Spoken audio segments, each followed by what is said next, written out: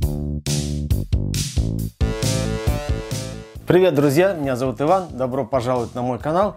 Сегодня мы с вами займемся распаковочкой Яндекс станции. У меня уже есть Яндекс станция Max первого поколения. У меня есть Яндекс станция Mini 2. Вот она тут с дисплейчиком. И я ими пользуюсь и очень ими доволен. Поэтому э, я решил посмотреть, а что же наконец выпустил Яндекс. Многие уже видели эти разные ролики и знают, что это за станции. Но я еще пока не видел и не знаю, вот нужно мне это или нет. А может быть и вы заодно посмотрите и поймете, нужно вам это или нет. Самое интересное на моем канале обычно это первые впечатления от открытия, распаковки и настройки. Давайте вместе с вами попробуем это сделать, посмотреть, открыть, что она, как настраивается, как выглядит, в чем в ней хорошего и так далее. Ну что, ну, распаковываем потихонечку. Так, Интересно, что там внутри. Заказал я, естественно, в Яндекс Маркете, где еще. Хотя можно и в Мегамаркете, где угодно. Так, коробочка внешняя. И вот такая коробочка у нас есть самой станции. Э, Яндекс станция MIDI. У меня черненькая, управлять умным домом. С дисплейчиком она, что хорошо. Но меня интересуют еще другие моменты. Давайте посмотрим, как они тут реализованы. Вот тут такой хвостик есть, можно дернуть. Интересно, он для чего? О, он позволяет не использовать ножик, который нам теперь больше не нравится. Откроем, посмотрим, что там внутри. Спешить нам некуда, с толком, с чувством, с расстановочкой, но в, том же, но в то же время и, собственно, затягивать не будем. Так, открыл. А тут есть пленка. Еще одна. Ее что, нужно сдирать? Да, тут есть хлястик такой.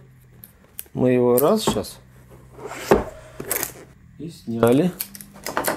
Липкая лента, открываем. О, ничего себе. Выглядит классно. Я вообще думал, что она побольше размером как-то. Она как-то среднего размера. Достанем. У, тяжеленькая. Ну, сама вот колоночка. Смотрим, что тут еще есть у нас в коробке. И как это, главное, еще достать. Я вижу, что там что-то еще есть, а как достать, непонятно. Какие-то усилия нужно прилагать, что ли? О, надо же упаковка какая. Не, а реально, как достать-то? Непонятно. Может быть, и не нужно ничего больше. Хм. Я вижу, тут я написано. Вот видите, тут написано я. Вот. И это означает, что что-то тут что-то есть. Ну, нужно же зарядку, да, к ней. А, вот. С довольно сильным, большим усилием удалось достать. Так, вот это у нас, начните с этого. Это у нас есть э, инструкции какие-то, станция MIDI, как начать, кнопка выключения микрофона, она сверху. А, нет, кнопка выключения микрофона сбоку.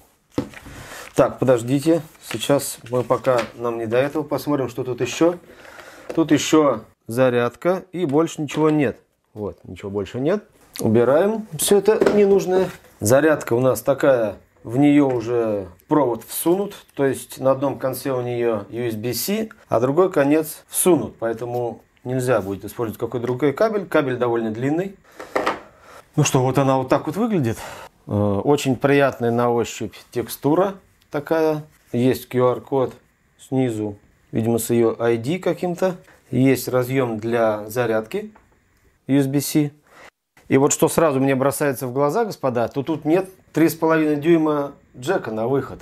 А я в своей станции мини 2, вот она тут, отличная. Я вот делал тоже обзор, посмотрите ролик на этом канале, очень популярный, хороший ролик. У нее очень важно, что есть разъем для наушников, с которого я снимаю звук на большой усилитель, большие колонки, и это очень классно получается в смысле того, что звук довольно качественный она дает, и можно регулировать громкость, выбирать песни, классно слушать через большие колонки. Этим многие пользуются. А здесь нет. Здесь нет такого разъема. То есть она считается, что она сама самодостаточна. Я вот здесь вот оставлю просто для сравнения. То есть можно увидеть, что текстура ну, немножечко отличается здесь. Здесь вот хлястик наш вот этот есть классный. А здесь как-то побогаче структура уже, текстура. Она такая тяжеленькая. Ну и давайте, что ли, попробуем ее подключить. Сейчас включить. Первоначальную настройку пройти и узнать, как это в дальнейшем, как настроить ее, да, как, как внести ее в структуру умного дома моего. если я вдруг захочу ей пользоваться. У меня есть большие сомнения, но вдруг захочу. Инструкции пока оставим, я думаю, что в них ничего интересного нет. Итак, давайте продолжим. Переключили камеры, я вот взял, взял iPhone, чтобы настраивать ее, потому что нужно же будет записывать экранчик, как эти все настройки будут происходить. И я так думаю, что надо сразу включить в электричество ее. Вот у меня тут есть удлинитель, потому что иначе она не заведется, так я помню, и из прошлых тоже роликов, которые я снимал. Чтобы она завелась, нужно ее в электричество воткнуть. А вот эти штуки как открываются, непонятно. А, вот так как-то хитро они открываются. Это сделано как-то замудрено. Не очень понятно зачем. Ну, давайте его полностью откроем, потом, если что, закроем. Так, ну что же, посмотрим. Втыкаем зарядочку и втыкаем в электричество. Что произойдет? О, что-то происходит. Кстати, пойду на кухню, выключу микрофон у той Алисы, а то она начнет отвечать.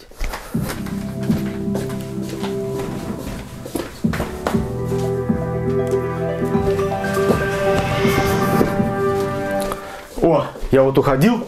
Привет, это Алиса. Рада знакомству. А она Я разговаривает. внутри Яндекс станции MIDI и сейчас расскажу, как ее настроить. Да Сначала давай, установите на телефон приложение «Дом с Алисой» или обновите его до последней версии. А у нас есть уже? Затем откройте приложение, нажмите на фиолетовый значок и скажите мне «Алиса, настрой колонку». Если что-то пойдет не так, вы всегда можете настроить колонку самостоятельно в приложении «Дом с Алисой». После настройки возвращайтесь, поболтаем. О, дом с Алисой. То есть нужно найти, найти дом. Вот я в, в айфоне набираю дом, запускаю дом. Итак, встречайте Алису нового поколения, теперь с нейросетью Яндекс GPT. Кстати, да, Яндекс добавил в Алису э, Яндекс GPT, то есть это нейросеть, и теперь она станет еще более умной, уж куда умнее. Это не сарказм. Так, не будем сейчас. И вот, он мне сразу говорит, найдена Яндекс станция MIDI, уже найдена, и предлагает подключить. То есть максимально простой вариант настройки. Я согласен с условиями. Станция мигает белым, да, она мигает белым, видно? Видно со всех сторон, да, вот видно. Выбрать куда? Винницкая 5, это мой дом, да, выбрать. Так, выберите сеть, через которую устройство подключится к интернету. Что хорошо, теперь есть возможность работать через 5 ГГц. Я выбираю свою сеть 5 ГГц и продолжаю настройку. Устройство подключается. Вообще мне очень нравится дизайн. Дизайн просто супер. То есть она такая классная, такие округлые края одновременно с прямыми. И при этом она такая тяжеленькая. Это наверняка говорит о том, что там хороший динамик. И музыка будет играть отлично. А для чего еще нужна станция? Для музыки в первую очередь. И еще здесь есть дисплей. вот Ваша колонка настроена. Вот. Осталось только обновить прошивку. Вот пока я болтал, она настраивается. И настроилась уже, и говорит, надо обновить прошивку. Ну, пусть обновляет. Вот мы ждем, мы ждем здесь вот. Кстати, напишите в комментариях, есть ли у вас какая-то умная колонка, может быть у вас там от Mail.ru Маруси, или у вас от Сбера есть э, колонка Сбербокс какая-нибудь, или другие Яндекс вот эти станции Алисы. Напишите, как вам нравится ли, э, пользуетесь ли и чем вы в основном пользуетесь. Я, например, Чаще всего э, слушаю, конечно, музыку, прошу какие-то какие песни включать, особенно вот в этой мини удобно, через большие колонки, большой усилитель, просто супер. Ну и на кухне у меня большая Яндекс станция, она позволяет все делать то же самое, просто там локально слушать музыку. Не получилось подключить колонку по Bluetooth. Ну а у нас и нету такой возможности, может, э, а может быть и есть, не знаю. Попробовать еще раз. А что, что собственно, Давайте, вот я выбрал еще раз сеть. Вот уже сбой произошел. Не удалось подключиться. Устройство пытается подключиться к Wi-Fi и выйти в интернет. Ну, то есть для этого он должен, ей телефон, наверное, ей сеть должна дать какие-то команды, чтобы она это сделала. И вообще мне это уже сейчас не нравится. То есть уже какой-то сбой у нас происходит. Так, ждем. К сожалению, приходится ждать. Не удалось подключить по Bluetooth. Попробуйте другой способ подключения. Ну, я не понял. Все у меня тут есть. Вот. С помощью звука. И мне уже снова не нравится. То есть она даже звук подключила, проиграла, а подключиться не хочет. А, кстати, я вспомнил, что она ведь не работает без электричества. То есть аккумулятор там нет, что я собирался включать до этого. Не получилось настроить устройство. Давайте попробуем проиграть звук еще раз. И если не получится, тогда начнем уже заново, потому что ну, не очень понятно.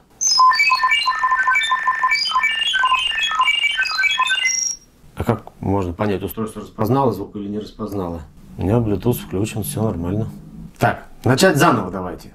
Я бы начал заново, даже выдернул бы ее, подождал бы. Вот. Тут вернулся бы на самое начало. Вообще закрыл бы дом умный. Так на, на самом деле это правильно делать. Включил бы ее. Послушал бы, что она скажет. А она что-то ничего не говорит, да? О, а она загорелась. И что-то моргает. Ну давай зайдем в дом. Тут ничего пока не определяется. Нужно добавить устройство Яндекс станция MIDI. Вот тут он понял. Выберите комнату. Ну, мой дом. Все нормально. Большая комната. Сохранить. То есть что, он хочет сказать, что она заработала, что ли? Алиса? Нет, не работает. Или как в прошлый раз, нужно дождаться, когда она обновит прошивку. Проверить связь с колонкой. Устройство не отвечает. Алиса? Отсутствует подключение к интернету. Ага, понятно. Ты не настроена. Предлагаю ее полностью сбросить. То есть сейчас я ее удалю отсюда. Настроить заново я нажму. Вот, настроить заново. А здесь, как по, по инструкции у нас написано, отключите адаптер от устройства. Зажмите кнопку микрофонов вот эту и снова подключите и подождите, пока не загорится желтым. Вот, загорелось желтым. Желтым загорелось, а белым еще не моргает. Надо дождаться приветствия Алисы. О! Так. Попытка 2 у нас происходит. Привет, это Алиса. Рада знакомству. Я живу внутри Яндекс станции MIDI и сейчас расскажу, как ее настроить. Сначала установите на телефон приложение «Дом» с Алисой или обновите его до последней версии. Затем откройте приложение, нажмите на фиолетовый значок и скажите мне «Алиса, настрой колонку».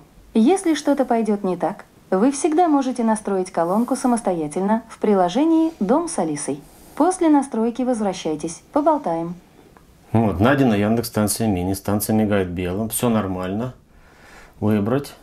Еще раз выберите Wi-Fi сеть. Я хочу 5 ГГц, извините, конечно. Хочу 5 ГГц. Продолжить. Устройство подключается. Оно моргает белым. О, уже раб... О! Со второй попытки, господа, все получилось. Устройство получилось к Wi-Fi. Понятно. Почти готово. Осталось только обновить прошивку. Пожалуйста, подождите несколько минут и не отключайте питание. Так, предыдущий фрагмент я не записывал на iPhone, но вот я вернулся в записи, вот он показывает, что станция обновляется, это займет примерно 5 минут вот на телефоне у меня. И надо дождаться до этого времени, ничего не трогать, не дергать, по крайней мере она уже показала, что подключилась. Такие вот сложности бывают, такой вот путь клиента, как говорится, вы проходите вместе со мной, а я вместе с вами. Все остальное здесь мало интересно, но вот как сбросить настройки в инструкции есть. Поэтому, если что, можете об этом узнать, попробовать и э, сделать это, пока она обновляет прошивку. Мы посмотрим, что тут есть сенсорная панель, тут есть кнопочка отключения микрофонов, вот это.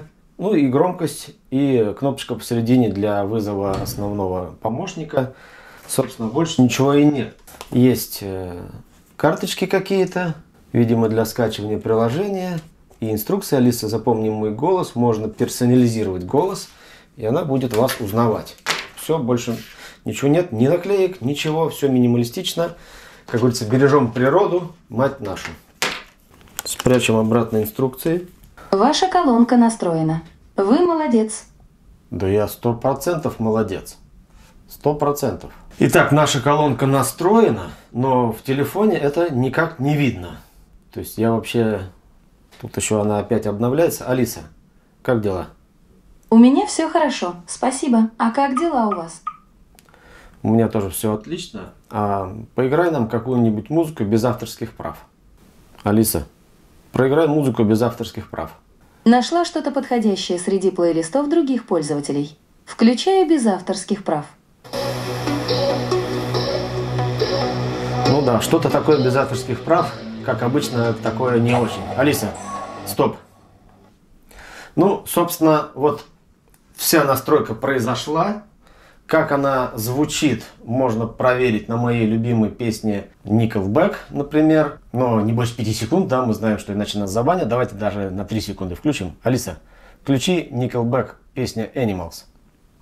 Включаю Nickelback, песня Animals.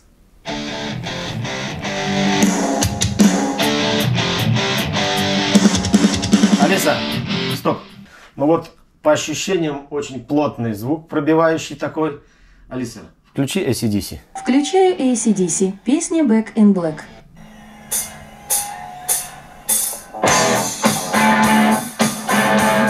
Алиса, стоп. Мы видим, когда музыка играет, она моргает другим цветом, и это тоже очень круто. Ну, вот по звучанию я бы сказал классно, особенно для озвучивания не очень большой комнаты. Просто звук отличный, у него много высоких, такая серединочка и нет завала по басам, как, например, у той большой э, Яндекс Алисы, э, Яндекс станции Макс, которая у меня на кухне. Приложение тем временем зависло и ничего не делает, не производит, не, не показывает. Не знаю, прям хоть закрывай его, вот закрыл. Вот Яндекс станция MIDI наша видна, что она тут умеет. Настройки звука, есть эквалайзер, есть функция радио няни, интересные э, новые функции, а также она теперь поддерживает Zigbee, то есть можно поставить всякие кнопочки и розеточки Zigbee и с ними поиграться. Они у меня на самом деле есть такие. Вот у меня есть Акара, Акара кнопка выключения всего и вся, и есть датчик Э, дверей, датчик открытия дверей. Ну, пока что я в этом ролике не буду про это рассказывать. Я, наверное, сниму другой. Пока эту станцию я никому отдавать не планирую. Но в следующем ролике, возможно, я ее разыграю, потому что она, собственно, мне не нужна. У меня есть мини 2 с джеком 3,5. И у меня есть Яндекс Макс э, станция на, на кухне, которая, в общем, меня устраивает. Но, конечно, они Zigbee не поддерживают. Но, в общем-то, я и не знаю, нужно ли мне это. Ради одного Zigbee просто новую станцию держать. В общем, я этот вопрос решу в следующем ролике, а если она мне не будет нужна, то я ее разыграю, поэтому ну, следите за выпусками. Ну что же, на этом, наверное, закончу обзор этой прекрасной, приятной станции MIDI. Она мне очень понравилась, и звук хороший. Настроилась не с первого раза, но увидели.